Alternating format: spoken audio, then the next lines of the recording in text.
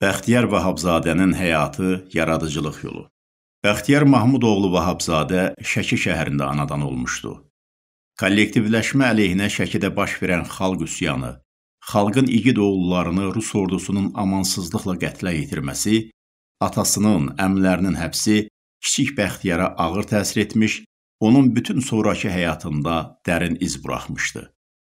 Şəkidə ibtidai məktəbdə oxuyan Bəxtiyar repressiyalardan qorunmaq üçün 1934-cü ildə ailəsi ilə Bakıya köçmüş və təhsilini burada davam etdirmişdi. Orta məktəbdə təhsil aldığı dövrdə o ədəbi dərnəklərdə fəal iştirak etmiş, ədəbiyyata böyük maraq göstərmişdi. Bakı Dövlət Universitetinin Filologiya fakültəsinə daxil olan Bəxtiyar Vahabzadə Mircəlalın rəhbərlik etdiyi Ədəbiyyat Dərnəyinin fəal üzvlərindən olmuş, şeirləri poeziya almanaqlarında çap olunmuşdu. Gənc şairin Ana və Şəkil adlı şeiri 1943-cü ildə dərc olunmuşdu. Mənim dostlarım adlı ilk kitabı 1949-cu ildə işıq üzü görmüşdü. Sonrakı illərdə onun Əbədi heykəl, Sadə adamlar, Ceyran, İnsan və zaman və s. kitabları nəşr olunmuşdu. Bəxtiyar Vahabzadənin elmi pedaqoji fəaliyyəti təhsil aldığı universitetlə bağlı olmuşdu. 1988-ci ildə Ermənistanın ölkəmizə qarşı işğalçılıq müharibəsi başlayanda Bəxtiyar Vahabzadə xalq hərəkatının rəhbərlərindən biri olmuş, torpaqlarımızın azad edilməsi uğrunda mübarizədə xalqımızın səfərbər olmasında böyük rol oynamışdı. Bəxtiyar Vahabzadə yaradıcılığının bütün mərhələlərində zəngin ənənələrə malik Azərbaycan lirikasını orijinal şeirlərlə zənginləşdirmişdi. Onun vətəndaşlıq lirikası milli istiqlal düşüncələrindən yoğrulmuş ictimai fəlsəfi şeirlərinin mükəmməl bir toplusundan ibarətdir. İctimai fəlsəfi lirikanın kamil nümunələrini yaratmaqla yanaşı, Bəxtiyar Vahabzadə həm də incə ruhlu şeirlər yazmaq ənənəsinə sadiq qalmışdı. 20-ci əsrin 60-cı illərində yazılmış Dodaqda gəz, Biri sənsən, biri mən, Bəhanəm şeirləri 70-ci 80-ci illərdə qələmə alınmış Kəpənək, İnsan göydə ay kimidir, küsəndə kimi poetik nümunələr təkcə yarandığı dövrün deyil, ümumiyyətlə Azərbaycan lirik poeziyasının önəmli hadisəsidir. Müstəqilliyin möhkəmləndirilməsi uğrunda gedən mübarizə günlərində meydana çıxmış ömür qatarı, mən aldanmaq istəyirəm, sənsizliyin içində, borçludur və s. lirik şeirləri xalq şairinin yaradıcılıq imkanlarının tükənməzliyini nümayiş etdirir. Müharibə dövrünün ovqatı ilə yazılmış Ana və Şəkil şeirində övladını cəbhəyə yola salan ananın keçirdiyi hisslər tərənnüm edilir. Yaşıl çəmən, ağac altı, bir də ki Tünd çay şeirində cəbhədəki dostundan ürək dolusu danışan Azərbaycanlı döyüşçü obrazı yaradılmışdı.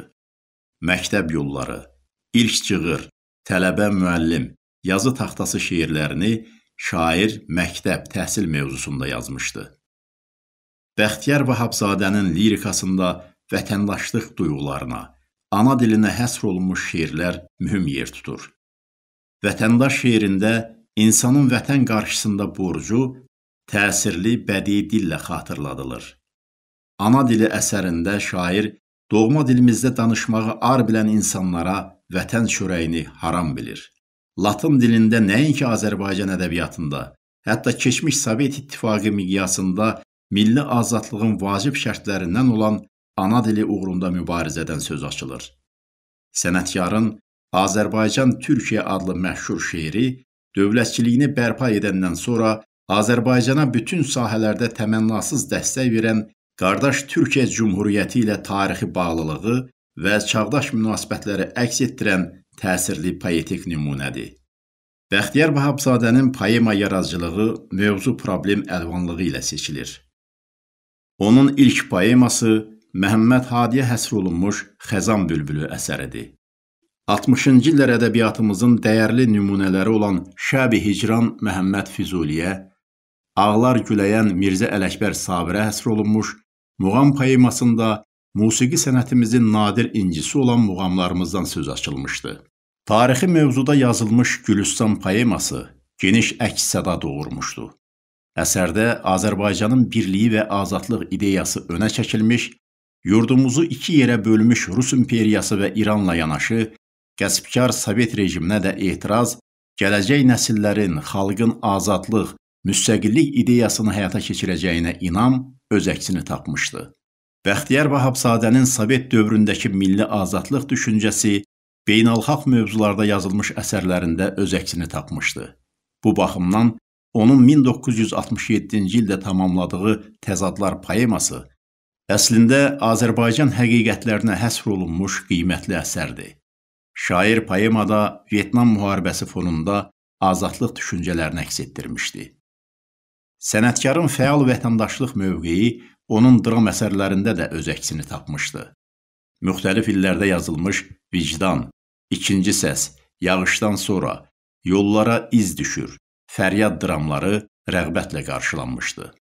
Azərbaycanın işğalına, xalq qəhrəmanı Babəkin edam edilməsinə nail olmuş Akşinin Ərəb xilafətinin valisi kimi Azərbaycana qayıtması və həyatını dar ağacında bitirməsi Dar ağacı pyesində ibrətamiz hadisə kimi əks etdirilir.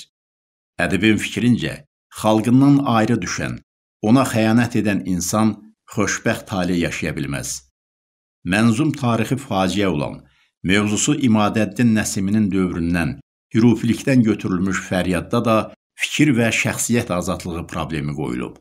Əsərdə azadlıq uğrunda mübarizə aparan, ölümə gedən insanın haqq səsinin, fəryadının eşidilməsi niyyəti ön planda durur.